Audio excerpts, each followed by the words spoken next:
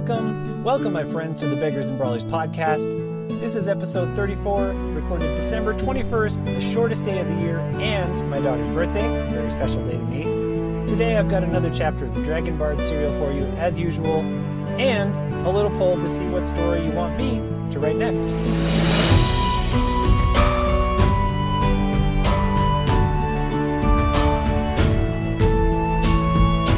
It probably comes as no surprise to know that I've always loved world building, and that it's the thing that's drawn me to fantasy is this sense of wonder that we get from these imagined landscapes and magic and peoples and cultures. Um, I just love epic settings, and I think growing up in a small town in North Dakota and eastern Montana, while I was a kid, made me really long for something more marvelous and just variety because it's uh, it can get a little boring up there when you're a teenager. I like it now. Didn't always love it then.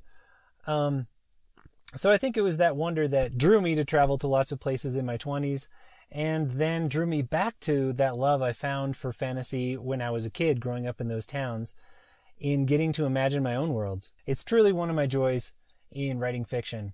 And as you know, if you've been listening to the podcast, I really can't write a story without knowing the world really well first. Um, I tried to write the Dragon Bard serial last June, thinking it'd just be a light, easy story, and kept hitting roadblock after roadblock until I was like, okay, I just have to figure out what dragons are and what this world is in a much deeper way than I have. And as soon as I did that, I could get into it. That being said, I now, of course, this taken to an extreme can be what we call world builder's disease, where you have to plot every little detail and know every little corner of every culture and chart out the topography and the languages and all of that before you can finally write a word. Uh, Tolkien was famous for having this disease. And as much as I love setting and love imagining that stuff, I don't have what you call plotter's disease, uh, which is that I start sketching the world and I get really into it. And the deeper I get into the history and the magic and like the secret things that are happening behind the scenes, the more and more stories start to come into my brain until the one that I'm planning on, I just can't wait any longer and I have to start writing it, even though I don't know everything about the world. This has turned out to be something of a blessing when I'm writing these longer series because it gives me something new to imagine and explore before I write a sequel versus kind of just knowing everything and then writing it out, which is the thing that uh, Pantsers hate about the plotting method of writing is that like if you plan the story beforehand, then there's no spontaneity. And as you know, I fall somewhere in between those two. And I guess I do with my world building too, because I need to know the place where it's happening and everything that's relevant to the story.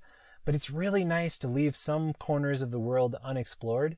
Um, like in the Tidecaller Chronicles, I knew Sorey super well, and I knew that there were other cultures enough to kind of describe them, but no main characters and almost no speaking characters in that first book are from any other culture. And that was intentional because I, I wanted to leave that open for me to explore in the next book. And then in Witch of Wealth and Ruin, book two, I got to explore this whole other city and figure out what the magic system was like and what these people are like. And it was a ton of fun. And because I had the space to do that city and that culture really thoroughly, I think I got a lot deeper in and I ended up, um, well, I really like telling that story, and people have liked the book, so I think it was good. Um, now in book three, having explored two places and starting to get more of a international or multicultural cast, I find myself uh, sketching out more and more of the world, and this is where the real plotter's disease comes in. Because yes, I can't just world build forever. Eventually, the story starts demanding that I tell it, but the bigger and deeper that I build these worlds, the more and more stories that I want to write in them. And it makes me totally understand why some authors just end up playing in the same sandbox their whole life and writing spin off series and sequels to sequels and whatever, all set in this one place because the deeper you imagine it, and then if you go forwards and backwards in time, there's just so much to write about any setting. Um, but because I love world building, I don't think I'll ever do that. I want to, you know, imagine fully different places and uh, it might be that all my all my settings are connected in some way, but we haven't gotten there yet. Um, but this plotter's disease is something that I also struggle with because I have so many stories that I want to write. Like in the Empire of Resonance saga, which I haven't written in for a few years, there are so many stories, especially from the past of it and looking forward in the future. That would be so cool to write, and I just don't have the hours in my life to write all of them. And so I'm always left with like, okay, of all these cool ideas, which is the one that I actually want to or actually have time to write? And occasionally I need to think about which one should I write because some of them might be uh, way too geeky or specific for people to actually read. And so I've got some of those coming up as I get close to the end of book three, Rebel of Riddle and Woe. And they've been rattling around in my head, and I thought, well, why don't I rattle them out onto the podcast and see if any of them catch your eye or ear, as it is. So I'm going to tell you three of them that have come up, and uh, there'll be a link in the show notes to a poll. And if you want to tell me which one of these would make the coolest short story or novella or novel, um, click on the poll and let me know. So here are three options. One is the origin story of Akifte, a character that we meet just kind of briefly in book two, but he's from Bamani, this like feudal jungle. It's not a state because it's a bunch of warring fiefdoms um, south of Surrey. And uh, I had to start to sketch out their magic system in order to understand him and, and who he is and where he's from.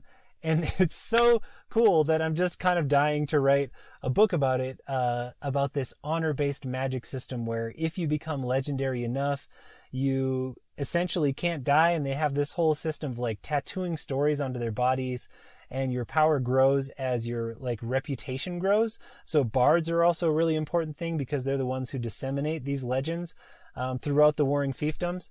And uh, Akifte in particular has a really cool origin story that involves that magic and lots of betrayal.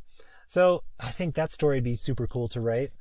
Another one is more of a like side story or behind the scenes story of Anon, who disappears for a little bit of book two and does important stuff off screen that we never really find out about. There's a little hint of it in the epilogue, but um, I would love to tell a story from his perspective because he's such a funny person. It'd be really fun to be in his head. And I think there are a lot of hijinks that went on in uh, those escapades that we weren't part of uh, in the background of book two. So I kind of want to tell that story of the two like epic heists that he pulls off and what he does with his freedom after thinking that he's going to die in the gladiator arena and then suddenly getting out. There's just, I think that one would be a lot of fun to write. Um, and the third one is exploring this idea that I came up with because even in Surrey, we were focused on the temple and the other magical faction in that city, the Therakins Guild. I didn't delve that deeply into their magic, and I've had to in book three for reasons, for spoilery reasons.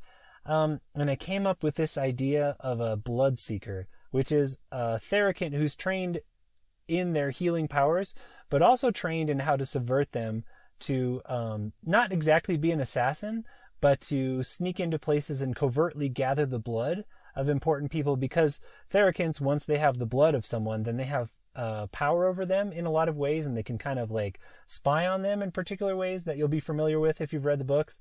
Um, and I just think that this idea is super cool, and I'd love to explore like the like the healer, thief, assassin um, perspective on the world. And I'm sure that there's a cool story that could come from that as she breaks into like a highly guarded compound to steal someone's blood. Maybe one of these powerful amaranths in Duran. Maybe this is a backstory of Panewa. There's a lot of possibilities, but I just think that that magic would be fun to explore and that um, pulling off heists like that again would make a really fun story. I think most of these are probably novella length, um, and I I want to write a couple novellas in this world just to have floating out there so people can grab them and if they like them, uh, start reading the actual books. But anyway, if any of those in particular sound cool, there is a link in the show notes and you can tell me which one you want to read. In the meantime, I do have my other side project, The Dragon Bard, we're calling it for now. Um, and I got a new chapter for you. As usual, this is, let's see, this is chapter 10 called The Frost Hits. And uh, it'll have some spoilers if you haven't read the other ones. I'm not reading the full chapters out because I still am going to revise them and probably a lot will change before the final draft of the book. And only after that's done do I want to take the life hours that it, it requires to do a really good reading of them. so I'm going to give you kind of a bad off the cuff reading of the first part of chapter 10, but it will be kind of spoilery if you haven't read the previous ones. There's a link in the show notes to go read all of those if you haven't, and it'll take you to the full text of this chapter 2, because we'll just read the first part of it. Um, but with those warnings aside, I give you Chapter 10 of the Dragon Bard serial, The Frost Hits.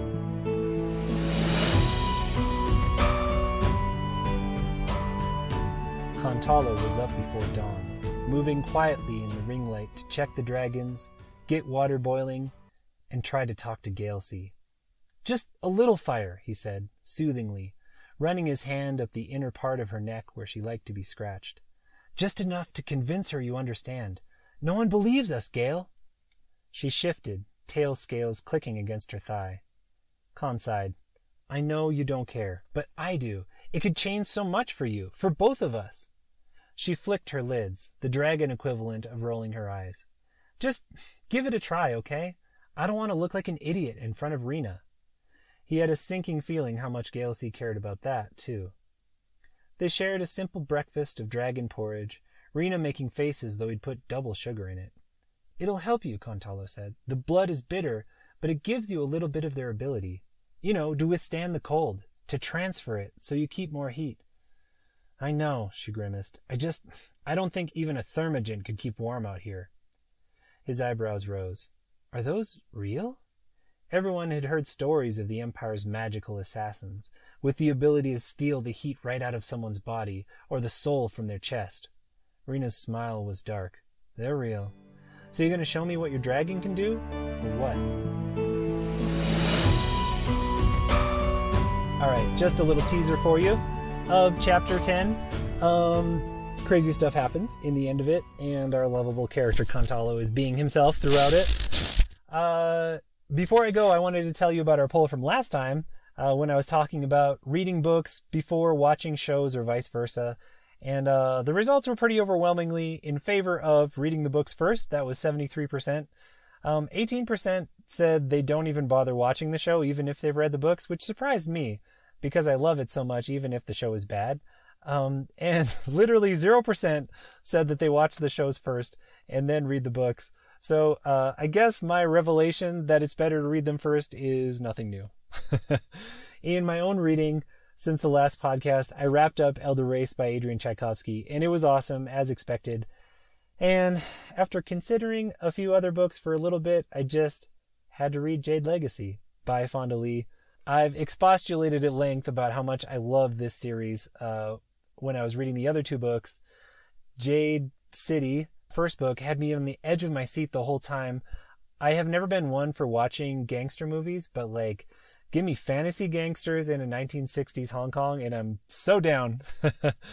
uh, book two was good in the same way, but somehow really a tearjerker for me. I cried a lot reading that book, uh, which was strange but wonderful. And so far, Jade Legacy Book 3 is both of those things and more. And I love it, and you should read it. And I'm not going to say any more because I don't want you to have totally overblown expectations. But this is definitely one of the best series I've read in the last few years. It's amazing. Um, okay, so with that, I think I've talked long enough. I am going to get back to the last 30,000, or is it 40,000, of Rebel of Riddle and Woe. Can't wait to bring that book to you. In the meantime, I hope that you are well and in the company of good books as always. Till next time, read on. For more information on Levi Jacobs and his books, including the award winning Tidecaller Chronicles, please visit www.levijacobs.com. Or for a free audiobook, only available to podcast listeners, go to www.levijacobs.com slash free. Thanks for listening and read on.